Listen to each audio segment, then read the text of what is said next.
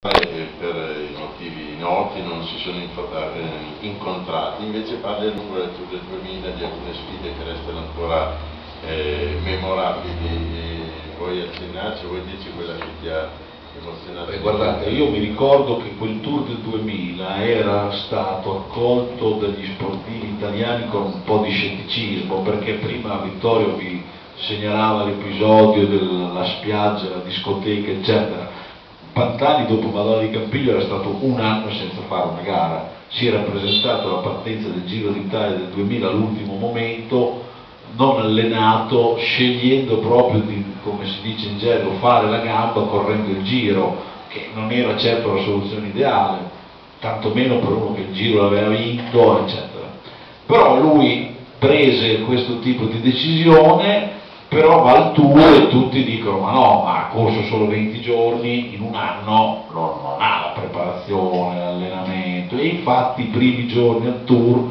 eh, in tappe non molto significative a livello di altimetria, lui viene staccato più di una volta, accumula dei minuti di ritardo, mentre Armstrong va fortissimo, eccetera. E, e sembra quindi insomma il sipario su una storia, no?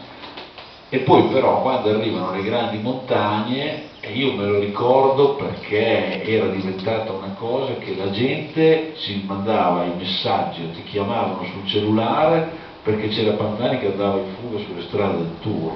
Oltre un anno dopo Madonna di Campiglia, cioè era talmente grande la voglia di ritrovarlo a livello di opinione pubblica, no? che quando si seppe che sul Mont Ventoux erano rimasti lui e Armstrong, siccome c'erano già allora i dati d'ascolto televisivi, quello che si chiama audit, non c'è fu impennata verso l'alto, cambiarono tutti i canali, ho acceso la televisione perché Pantani era tornato. Figurati qualche giorno dopo perché sul Mantù Pantani dà il traguardo per primo, Armstrong credo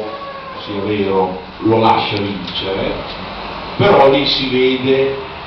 proprio il boss la malavita, no? Vittorio ha corso, lo sa che quando uno lascia vincere un compagno di fuga perché gli è simpatico, perché l'ha aiutato nella fuga, perché ha un debito da onorare, un debito agonistico, non va dopo dai giornalisti delle televisioni a dirlo lasciato vincere, no? Cioè queste cose non si fanno, ma non perché ci sia una logica mafiosa, perché non è elegante, non è simpatico nei confronti di uno che ha faticato quanto te per la Diciamo che un ricordi non l'aveva fatto Pantani No, Pantani con Ulrich al tour del 98 c'era stata una tappa che Pantani era già maglia gialla che erano arrivati loro due e lui cavallerescamente non aveva fatto la volata, aveva lasciato vincere il tedesco, poi magari Ulrich avrebbe vinto lo stesso lo sprint, non è che Pantani dopo è andato da Dezzani a dire eh l'ho lasciato vincere, no? Cioè, invece Armstrong era così, era appunto il cowboy anche rozzo in certe cose Villano, va e dice no ma l'ho lasciato vincere, no? Insomma, quasi come per umiliarlo. Anche Pantani ebbe questa reazione meravigliosa perché era comunque un grande campione orgogliosissimo e alla prima grande tappa alpina che era quella che si concludeva a Courchevel io credo che sarebbe anche morto sulla strada pur di staccare Armstrong in salita perché mi sono andato a riguardare il filmato sono una ventina di minuti dell'ultima ascesa impressionante perché lui comincia a scattare la ripetizione. Armstrong che comunque ha già vinto il tour perché ha un vantaggio di minuti e minuti capisce il senso simbolico del momento e fa di tutto per restargli aggrappato alla ruota. Se vi capita andatelo a vedere è, uno spettacolo sapendo quello che è successo poi nella vita di entrambi straziante ma è un'emozione purissima incredibile e Pantani riesce a toglierselo di ruota, che mancano meno di 4 km e poi non si volta più, non si volta mai, continua a pedalare come un forsennato, taglia il traguardo, non alza neanche le braccia perché è, è come in trance, no? perché sta facendo quello che è il senso, diciamo così, del suo ritorno in bicicletta, battere il cowboy e ci riesce. E lì io ero in Austria al Gran Premio di Formula 1, perché si correva di domenica anche la tappa di Courchevel,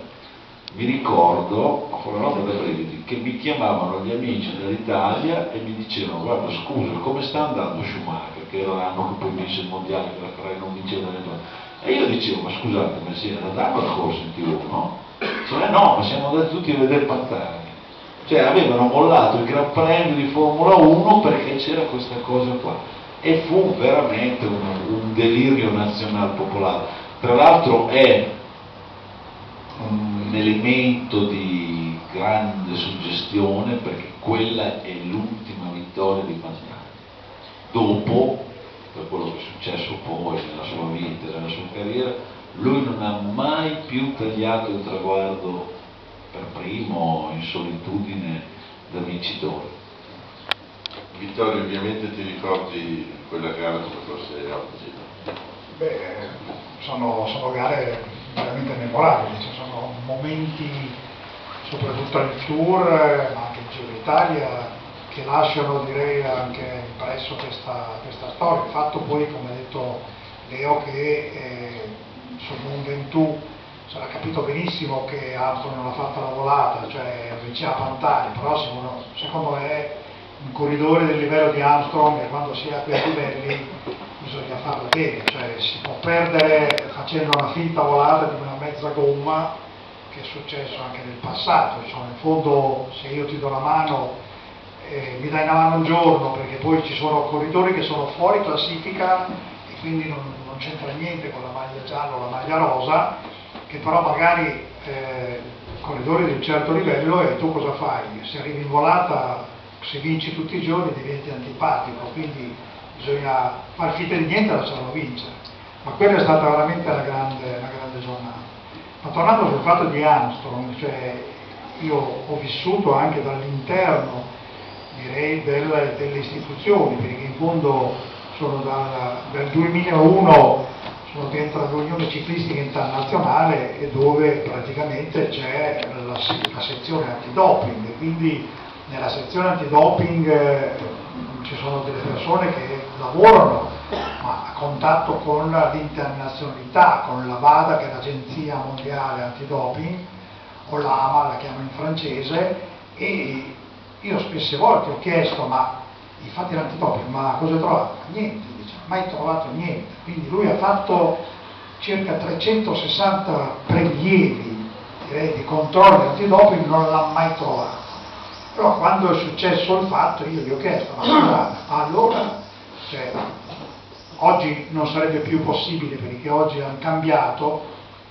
perché il problema dei controlli antidoping in fondo è una, una storia lunga, cioè prima eh, c'era una cosa, poi l'altra cosa, e devo dire che i laboratori di ricerca per sostanze sono stati più veloci del controllo, cioè in fondo il ladro era più veloce che il carabiniere se vogliamo, no? perché ci voleva dietro.